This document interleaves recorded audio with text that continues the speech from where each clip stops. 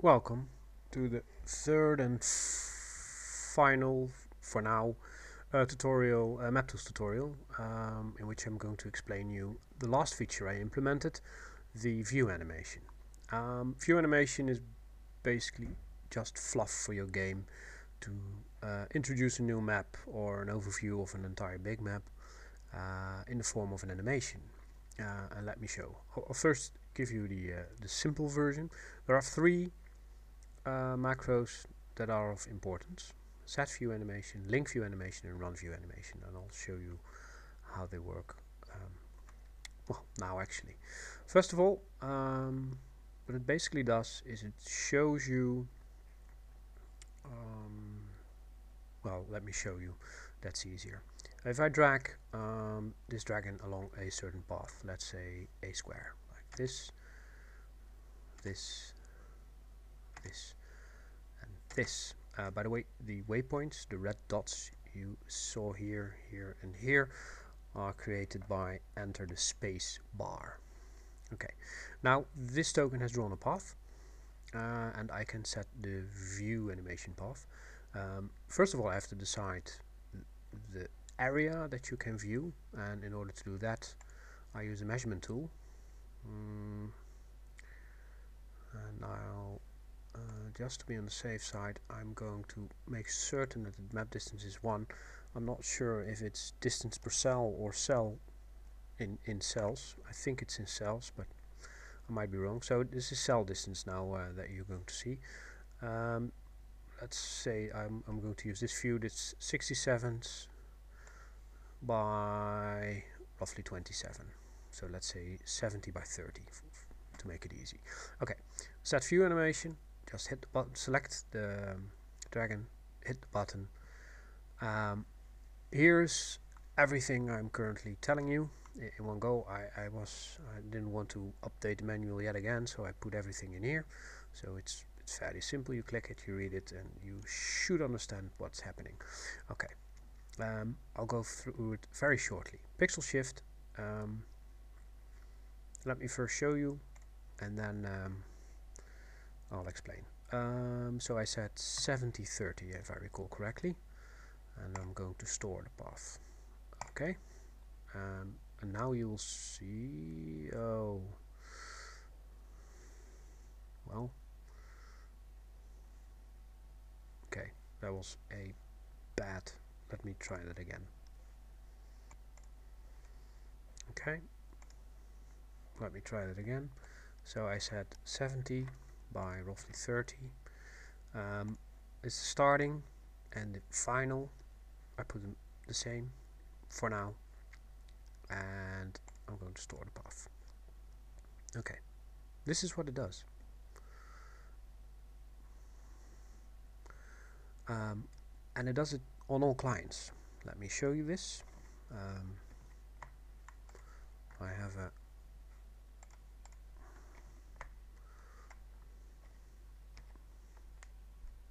player client. I happen to have a player client open. So if I run this animation, oh the way that's what the set view animation shows you what you just said. The run view animation uh, runs it. So here you go. Selected. run.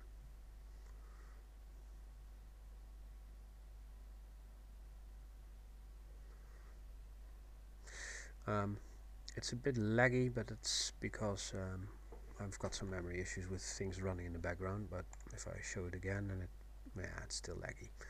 Anyway, I'm running two clients at the same time. If this is on another client, um, it should go smoothly uh, with the others as it's executed on the uh, on, on the remote client and not um, executed on the GM client but now both are executed here so that's why it's a bit slow uh, the reason why you can't see it is because of the ownership of this token you can see this token okay.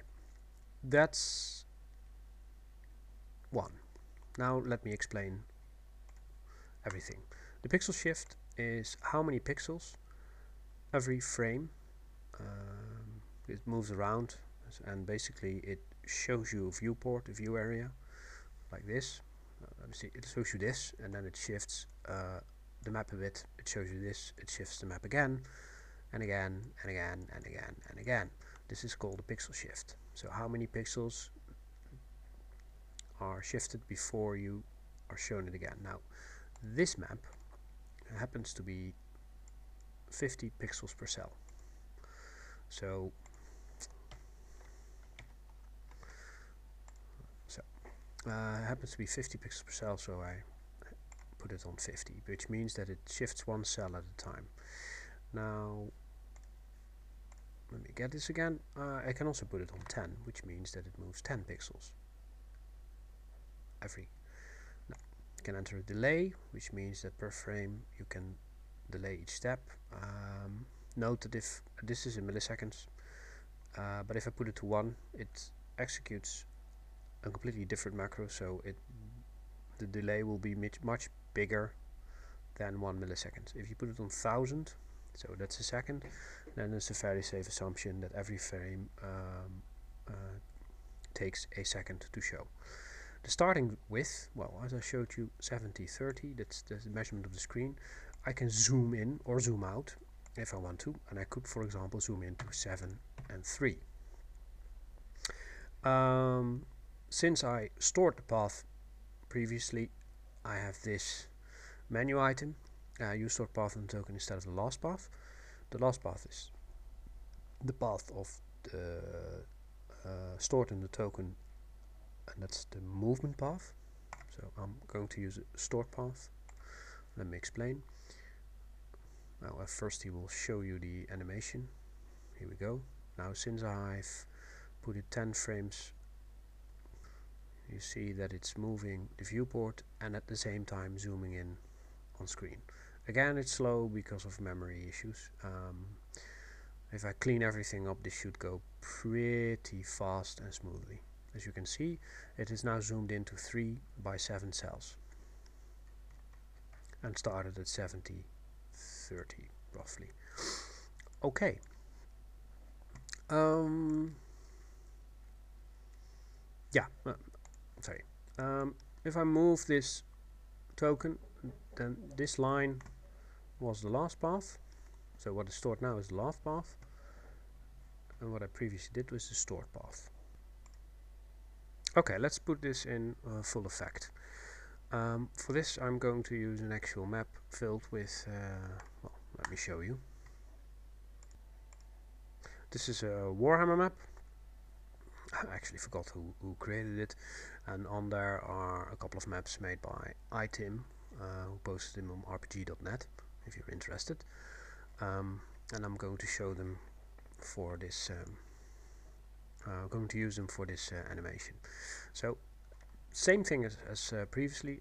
For some reason I'm, I'm using dragons um, to, to show this tutorial. This is a pretty large map and it's heavy on the system so I hope this is going to work but let's uh, see if it works. Um, the view distance currently is about 15,000 cells. So that's quite a zoom uh, if we want to uh, go somewhere around 60 again. But okay, basically the first view I want to show is this one here moving.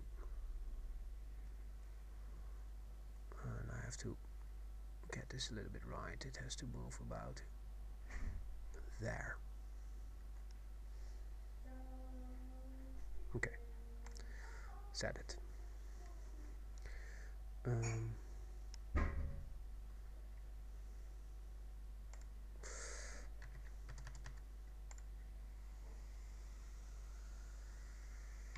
can leave this one small.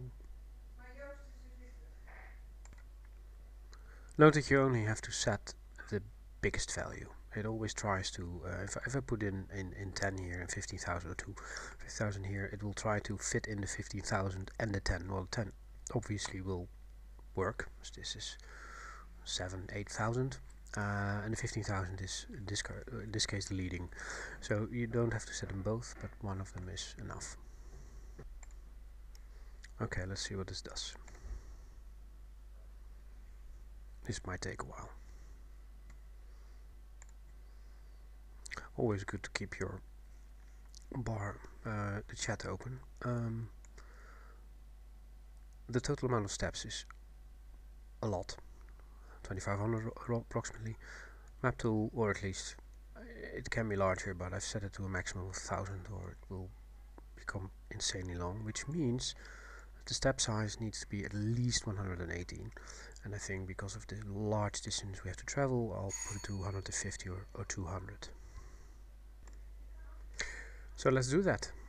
Um, so let's give it 200 um, and we leave the rest the same. Stored path.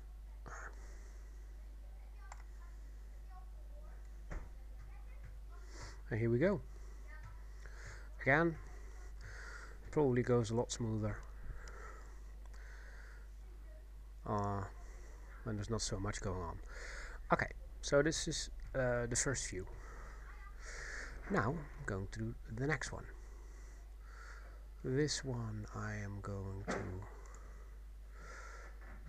oh well just leave it. Okay let's uh, do the next one. That's this one. I'm going to make a path for this one as well. Show a little bit of the village. As you can see I try to omit uh, diagonal paths and you will see why. I'll do a couple here so you can have a look and feel of it. Oh that was stupid. Don't try to move it. Okay. It has to be one path so I have to do it again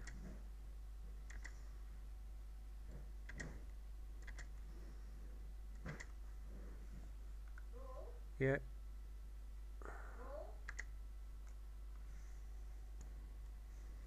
Okay, let's have a look. So 60 30 uh, we start with the view same view as we left. Um, oh sorry. Uh, let's go with well let's go with cell distance.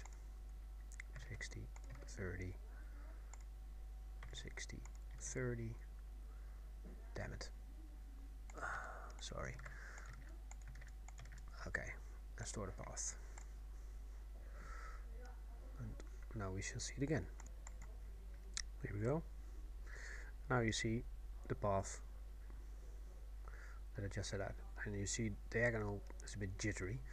Uh, you're going to omit the jitteriness by uh, not using cell distance 50 pixels but a smaller pixel shift and of course don't use diagonal lines okay this is, this is the next one so we continue with the third. The third we're going to view out and view in to this castle.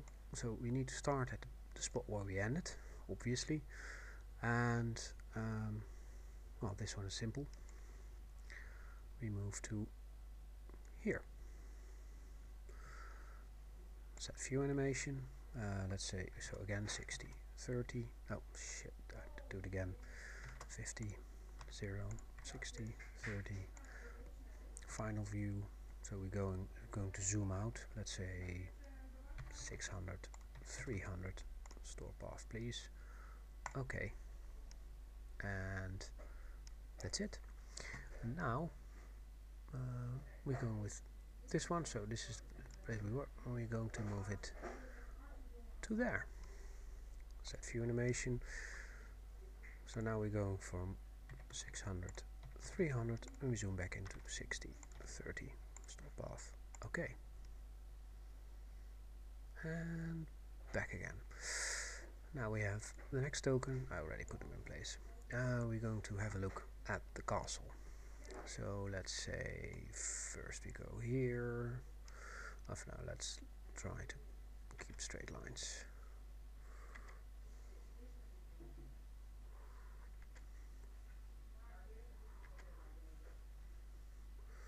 And let's do a circle motion here by using a lot of viewpoints go back here and then find end up here. Okay let's say that this in this case we're going to use a smaller amount so let's say 10 might take a while. Again we're not going to do any zoom so we 60 30 60 30 store path. Okay.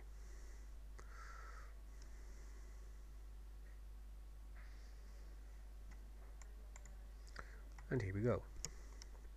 Now as I said the pixel shift to 10 it means that it's pretty slow. But okay. Let's set this one out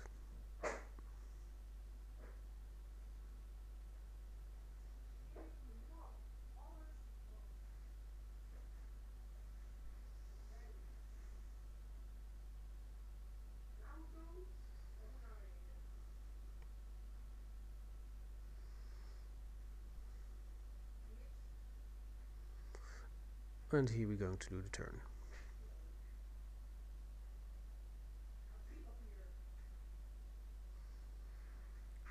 And stop. So okay now the final one. Uh, which is number five.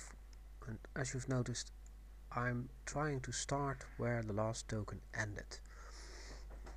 And you'll see why in a short moment. Um, this one is going to be last path and then I'm going to show you what link view animations does although I th think you might already know what it does. Okay so we make another path from here and then to let's zoom a bit in uh, let's say we want to end up well here. Okay set view animation um, well, let's go a little bit quicker 20 uh, starting with 60 30 and let's end with 6 3 so we're going to zoom in again. Okay. So now we have the, all the paths. Now the final thing we're going to do I have a little token here eagle. We're going to use that. Um, first of all we're going to select all the dragons. One two three, four, five, six. Yeah. And then we're going to link the view animations.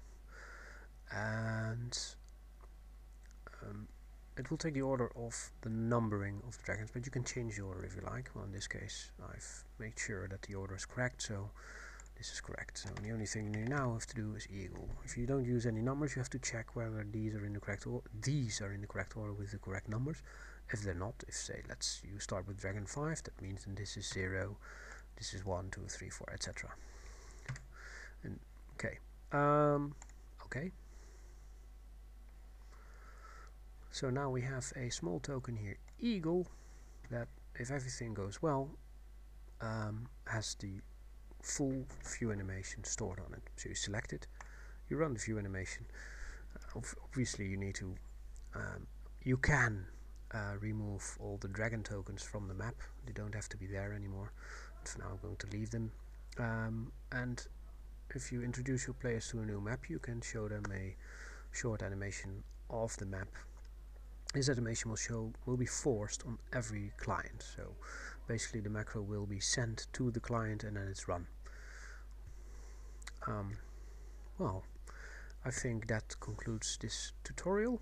Um, if you have any questions on the forum.